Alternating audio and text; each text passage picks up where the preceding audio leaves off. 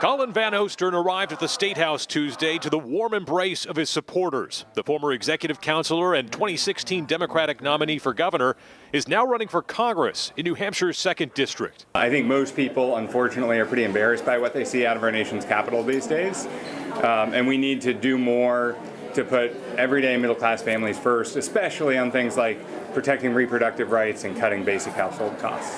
Van Ostern has the endorsement of retiring Congresswoman Annie Kuster. He managed her very first campaign back in 2010. She has been an extraordinary team captain for all of us who care about reproductive rights, but the truth is that we have lost too much ground on that issue. Asked to point to any independent stance he's taken against the Biden administration, Van Ostern highlighted his role in the write in Biden effort in the first in the nation primary, comparing it to winning a sports championship. There are banners up in the rafters of the history of the New Hampshire primary, and there are banners like the 2000 McCain comeback where he won by 20 points and nobody saw it coming, or Ed Muskie crying outside the union leader. One of those banners up in the rafters is the Write in Biden effort. In Concord, Adam Sexton, WMUR News 9.